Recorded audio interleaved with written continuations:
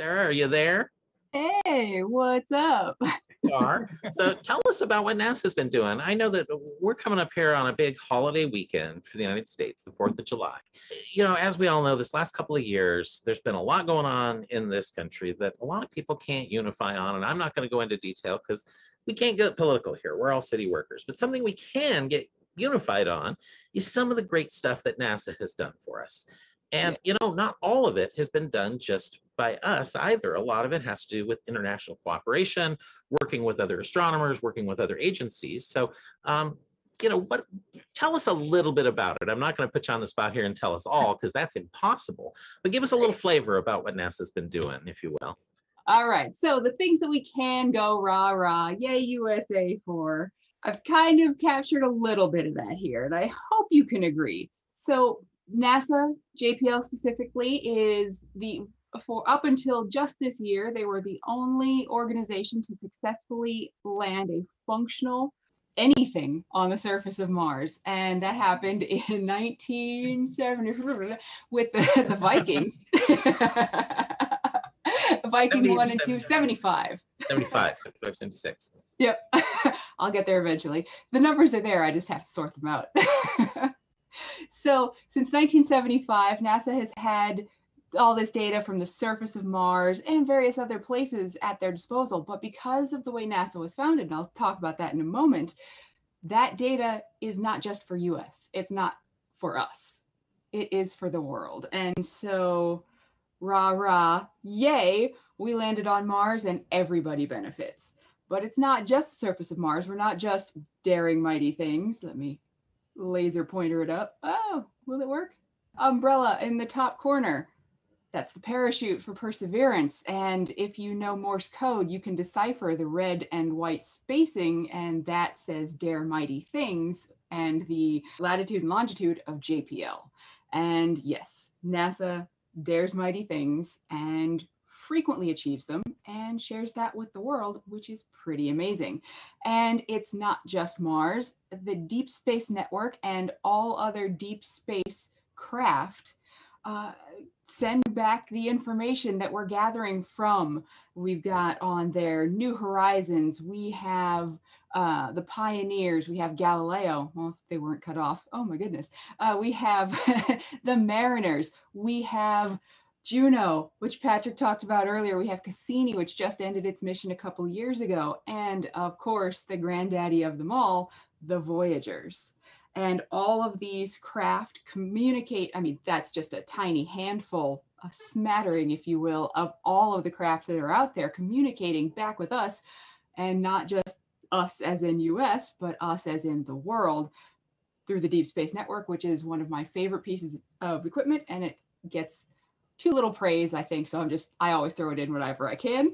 And then NASA isn't just looking outward at the stars, NASA is also looking back at Earth. And Earth looking satellites are tremendously important.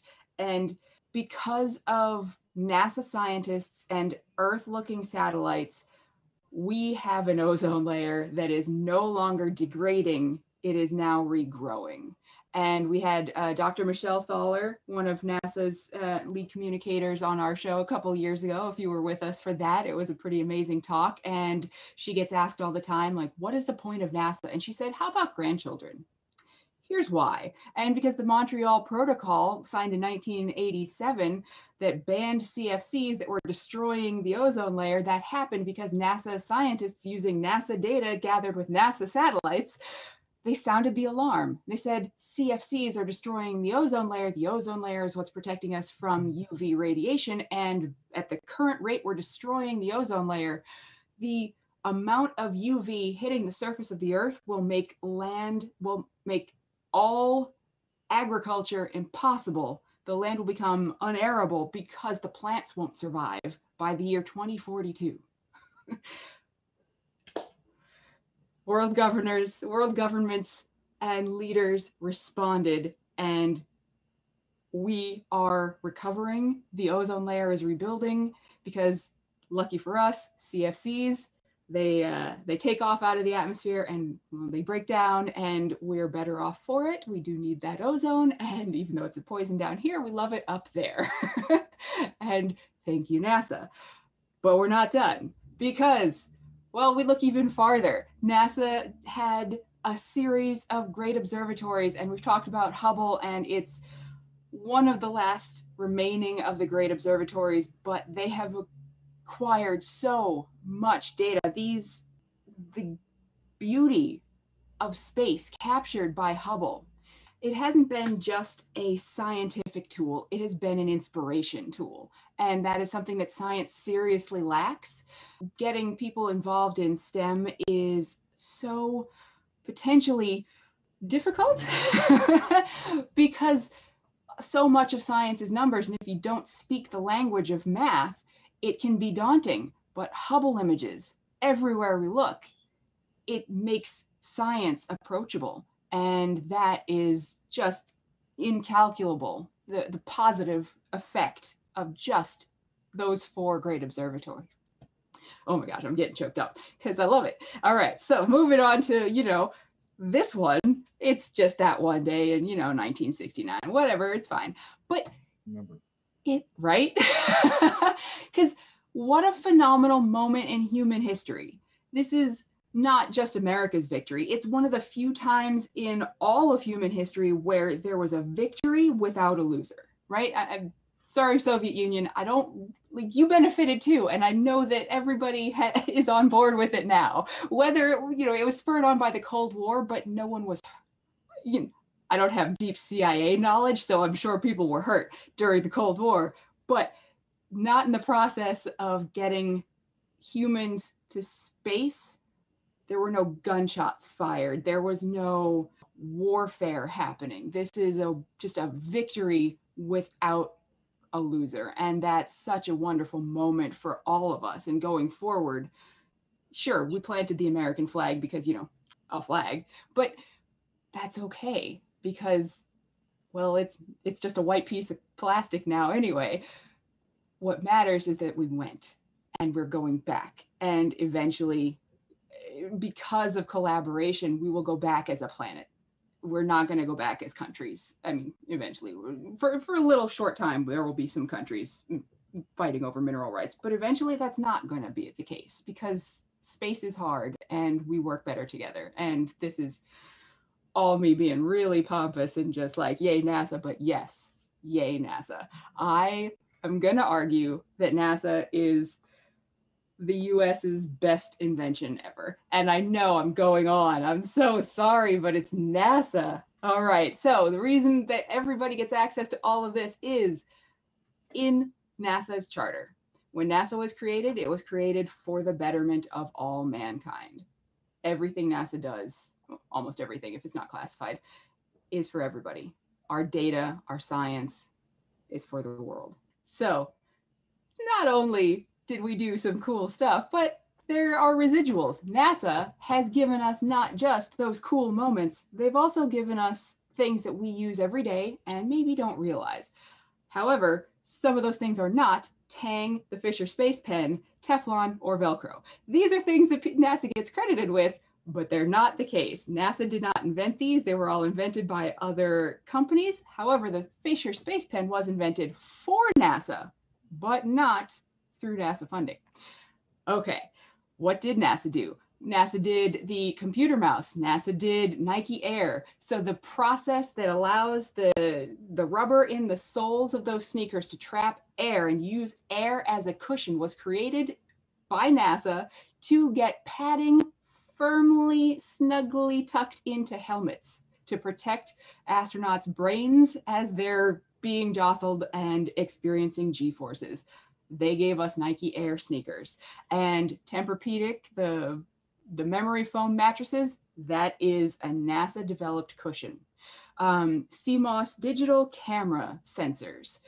That was developed for flybys of planets, and they are used in almost every single cell phone because CMOS sensors use a fraction of the amount of energy that the other kind of sensor uses.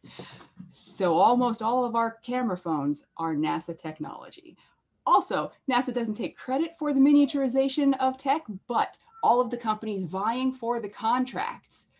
And since space requires smaller, lighter, and better, all of the companies vying for those contracts, they were pushing themselves on behalf of NASA. So the reason we have the microchips and the microprocessors in these incredibly powerful, tiny, tiny packages is because they wanted to get to space. And we thank them for it. So now we can have a we can have the equivalent of a supercomputer in our pocket. Because five megs of RAM used to take up the size of a room.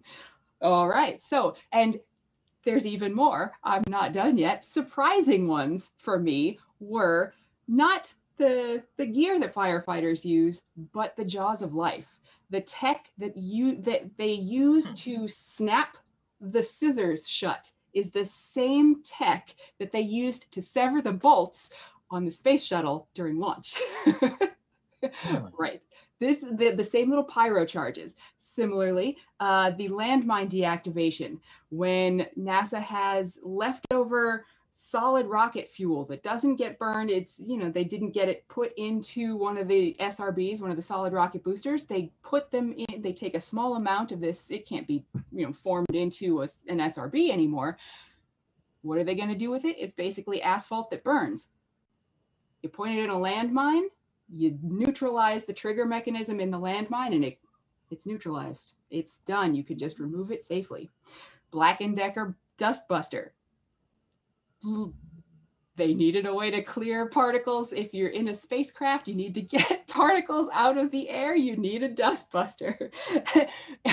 Baby formula that has enrichments, algae. Thank you, NASA. Gross. I'm just kidding. Unfortunately, ice the astronaut ice cream? Never. It was developed with technology for nasa. It was it has never gone to space. All right but if you would like to know more about nasa spin-offs if you would like to deep dive because it goes on and on and on nasa spin-off is a magazine that they publish. You can look and see all of the things that nasa has given us that we use in our everyday lives and don't even realize it. And you can use nasa patents this is not just, hey, these are the things that these big companies, no, you can apply to use a NASA patent. And in the understatement of the year, NASA says benefits to you. It says, uh, you know, this uh, data management. No, that's NASA being humble. That's NASA being very clearly scientific. When you click on these links, it takes you to the way NASA data handling, data management, and data processing is being used to oh, fight cancer, identify cancers, identify patient groups, identify all sorts of eh, everything. The medical industry is absolutely benefiting from NASA data analysis. Okay, I'm going to leave it there. Please dig further. NASA spinoffs just go on forever. They, we absolutely could, um, but I think you covered a lot of them there, which is terrific for us. A couple of points I wanted to make along the way, although no shots were fired at astronaut astronauts at each other during the space race. Russian cosmonauts did carry a firearm with them into space, but it was not to be used in space. It was when they landed, got out if there was a bear. Yep. At least that's what I had heard. So They land um, in Siberia, so they, yeah. have- they still do carry firearms. yeah, I love it. That, that is, very interesting that point. is the but- second most Russian thing I've ever heard. Exactly. but thank you for the, the fascinating tale of NASA and everything that we're doing and how that's going.